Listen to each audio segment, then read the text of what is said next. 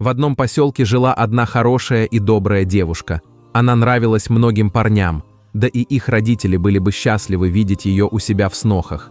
Все знали, какое воспитание она получила от своих родителей. У девушки был строгий запрет на хождение по подругам на ночь, да что к подругам, мама даже к своей сестре ее не пускала одну с ночевкой. На свадьбы, различные вечеринки тоже был запрет, да она и сама не любила такие мероприятия. Девушка была очень трудолюбивой и послушной дочерью, родителям никогда не перечила, вставала за два часа до школы и делала все дела по дому, успевала подмести на улице и во дворе, пока две ее младшие сестренки спокойно спали. Переделав все дела, собиралась и шла в школу. В школе был один мальчик, в которого безумно была влюблена девушка.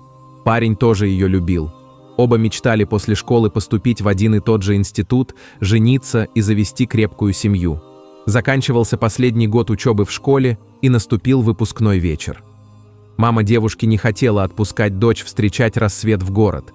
Что-то нехорошее чувствовало материнское сердце, но под давлением других родителей все-таки отпустила. И вот выпускной вечер. Все одноклассники и ребята с параллельных классов тоже пошли встречать рассвет в город – Парень все время старался быть с девушкой, но друзья постоянно тащили его в свой круг, и впервые в жизни он попробовал спиртное, хотя до этого даже не курил. Девушка очень переживала за него, видя, что он постоянно пьет. Но парню было уже все равно. Он пил и пил, хотя очень хорошо держался, и по его виду нельзя было сказать, что он не в себе. Наконец он оставил дружков и подошел к любимой. Предложил вдруг неожиданно сбежать ото всех в конец парка. Там, в конце парка, было очень живописное место с озером, туда они и пришли. Вокруг не было ни души, они сели на скамейку и разговаривали о своих чувствах и планах на дальнейшую жизнь. Но вдруг наступила тишина. Парень сказал такие слова, о которых он потом жалел очень долгое время и которые перевернули их жизнь. Он сказал «Я так люблю тебя и хочу, чтобы в эту ночь ты стала моей». С этими словами он начал целовать девушку, которая даже не успела ему ответить.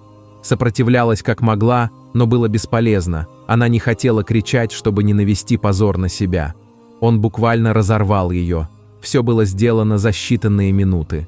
Обо всем сразу стало известно, потому что друг парня следил за ними и видел все. Он сразу рассказал ребятам о произошедшем. Девушка была опозорена. Весь поселок только об этом и говорил, но что самое обидное, про парня вообще ничего никто не говорил плохого – все обвиняли ее, что не нужно было уединяться, что сама его соблазнила и много других грязных вещей. Спустя время парень чувствовал за собой вину и женился на девушке.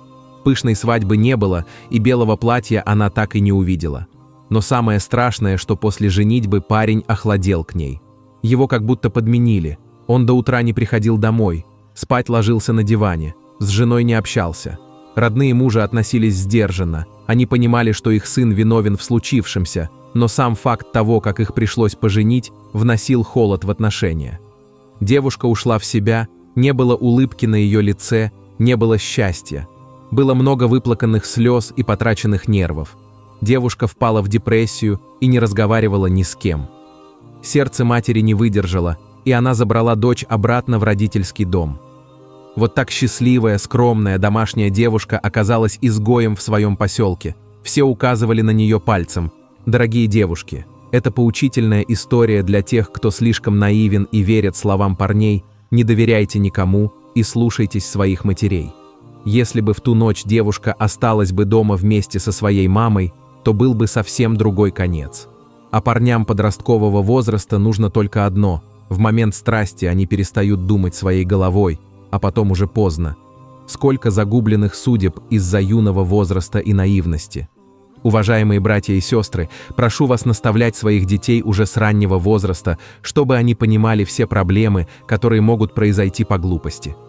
Если вам понравилась история, то поставьте лайк, подпишитесь на канал, тут будет еще много всего поучительного и интересного. Кто хочет поддержать канал материально, все ссылки в закрепленном комментарии – переживаю не совсем хороший период жизни и буду рад любой помощи.